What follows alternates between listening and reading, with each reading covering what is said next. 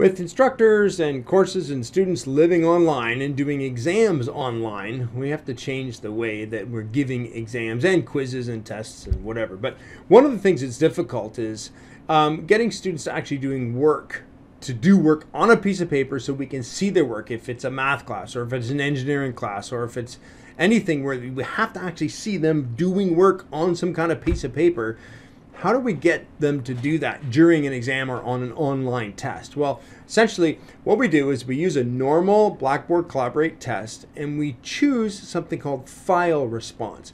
Get the students to actually take a piece of paper and write the stuff down there take a picture of it or put it in their scanner if they have one at home and scan it to a, an image or a PDF. Doesn't really matter what the file format is.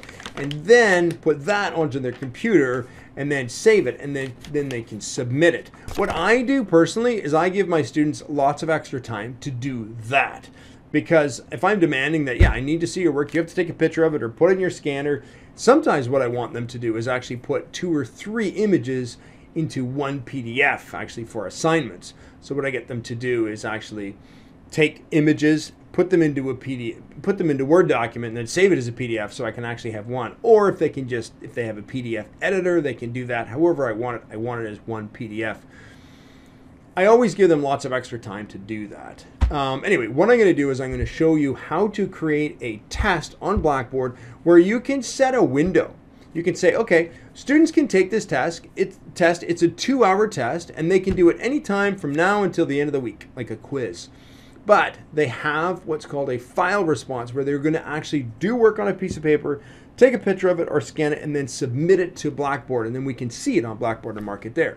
So the first thing you're going to do is there are a couple different ways to do it, but I like to do it this way.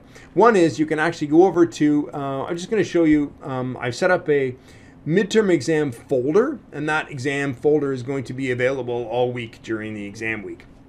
They're going to click on here and they can see this. Now, like I said, there are two ways to do this. One is I can actually just create a test right here, or I can go down here into course tools and I can go to test pools and surveys. Pools are really cool because I can actually make the same question, like question one on any test, I can have four different versions of it and I can load that in. So I'm not going to show you how to do that right now, but maybe I'll do that in another video. But right now I'm just going to say tests. I'm going to start a new test. I'm going to build a test. Okay, so I'm going to call that the midterm and I'm going to call it midterm uh, winter 22. Now that's it. I'm just going to I'm just going to press play. Here we go. Now I have all of these options. I can create all of these. I can create um, a calculated numeric, I can do multiple answer, multiple choice, or I can do file response. So I'm just going to call this a uh, question one. Okay, now I'm going to put the question in here. I'm going to say, hey, this is the situation, you know, whatever. Here we go. Let me, I've got some stuff already here. So I'm just going to copy this from Word and I'm going to paste it in here and I'm going to hit Control paste and I'm just going to say keep formatting because I, I put it in Word and I formatted it in Word specifically. If you don't do that, let's just undo that and just hit paste and say remove formatting. It comes out a little bit sloppy, but I can fix it very easily. It's just that I like to keep it in whatever Word format I did it in. So here we go. Now I can kick up the font maybe a little bit if I wanted to, whatever. There you go. So now what they're going to do is they're going to do this, but I also need to give them some kind of diagram so they can analyze it and work with it. So in this case, I'm going to click on this. Now I've already got a diagram and it is over here. Uh, it's down here. Uh, where, where there? Exam question one. Here we go. So this is the diagram. I can increase the size of this so they can see it better. Um, and you might want to have a better diagram than this. This is a little bit faded, but this is actually from a screenshot. So um, there you go. So they can analyze this diagram. Now, I've got these instructions here. Scan or take a picture of your work and submit it under attached files, browse local files. And if you don't know what that means, I'll show you later. Um, my students know what that means, but if you don't, if you haven't done that before, they may not know. So I'm just going to submit. Now, here's the question. I've created this exam. I can put another question in and uh, as many as I want. And in this case, this question is worth 10 points. Okay, so now I'm going to go back over to here, over to my learning materials. I'm going to go back into my exam and I'm going to load this file. I'm going to go test and this test will be down here And I'm just going to click on that and submit. And there we go. It's going to go down there. Now, I can write some instructions on here. This test is going. This will be open for two hours. This will be whatever you want. Um, there are a lot of different options here you can discuss with your students, and then even tell them. By the way, make sure you have some paper before you hit begin. Make sure you have paper. Get your calculator ready maybe a ruler or whatever, and then hit begin. And at that time, you'll have two hours. So they'll be able to see all of this description before they hit begin. So they'll be like, oh, okay, okay, I know what I'm supposed to do. I better make sure I get some paper. So they don't jump in the exam and say, oh my gosh, I got to get a piece of paper, and I didn't know I need my calculator. yeah. Okay. So open test, open the test in a new window for sure. Do that so it opens in a new window in their browser. Uh, make available. Yep um, announcement, nope, multiple attempts. If you want, maybe you can give them two attempts at the exact same test.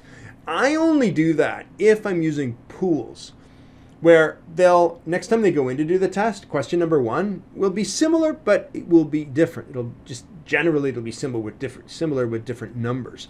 Uh, here we go. So, um, and then if they're going, if you're going to do two multiple taps, uh, attempts, it, depends on if it's a just a file response, do last graded attempt because that's the one that will pop up when you do your marking. Anyway, so I'm going to set the timer to 120 minutes. Um, if you don't select on or off, if you don't select auto submit, it'll still go. They'll actually, I thought I typed in 120. Um, it'll still go more than 120 minutes, but the students will know. It'll say, hey, your time is up and then it will show how much extra time they took uh, when you go and mark it. Um, so I just hit auto submit on. Now, again, I may want to say, you know what, you guys have all week to do this till Sunday night, midnight. Go ahead. But I set it so that they only have two hours to write it. So after submission, so upon entering the exam, they will have 120 minutes. Or you know what, because they, the actual exam takes about 120 minutes, I want to give them a little extra time to fumble around to take pictures or use their scanner. And then maybe because they're taking it with their phone, they have to email it to themselves to get it onto their computer because they're not going to be doing their exam on their computer, on, on their computer, on their phone. Can they do their exam on their phone? Actually, they could. They could actually do their exam on their phone. And the image is right there. But if anything, I'm just going to say, you know what? Take 150 minutes. I give you an extra 30 minutes to do whatever. I always give my students lots of extra time. I want everyone to do well. So I can put a due date if I want. Um, and in this case, because of, I'm going to have more than one question, I can say one question at a time and prohibit backtracking, or I can say all at once and they'll see all three questions or all five questions. They'll be able to look at them uh, and then they'll be able to um, think about a little bit more, maybe see the bigger picture. It's up to you. It's all about what kind of exam we're writing. So I'm just going to say one at a time, prohibit backtracking.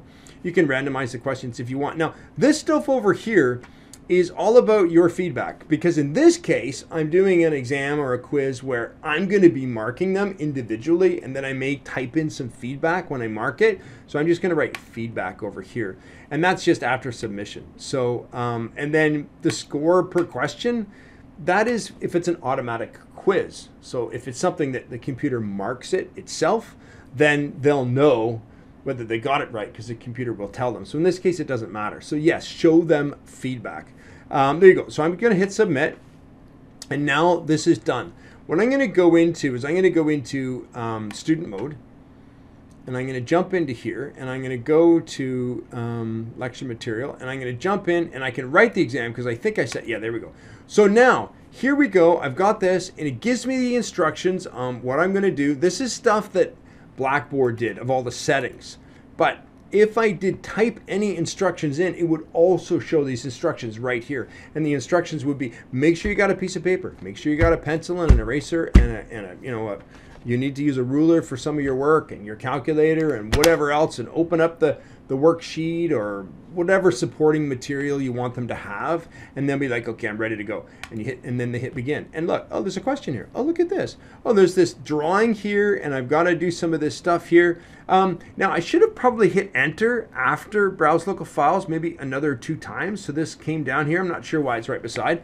But here i am. I'm a student. I know this. I can see that it's worth 10 points. I know what to do. And it says here scan or take a picture of your work browse local files. Okay, so I'm now, I'm, I got a piece of paper out, I'm a student, and I'm writing all my stuff down, and I, I do my calculations, I double, triple check everything, and I'm like, good to go. So I got two options. One is I can go to my scanner and scan it if I have a scanner. If I don't, I've got a phone, and I'm going to take a picture of it. Then I'm going to probably email that to myself so that I can get it on my computer.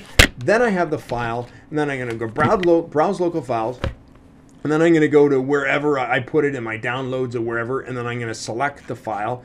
So let's just select this file here, and I'm going to submit that, and I'm going to press play here. Now, once I do that, and I say submit, uh, save and submit, um, I'm not sure if that'll, if I had two questions, would that take me to the next question?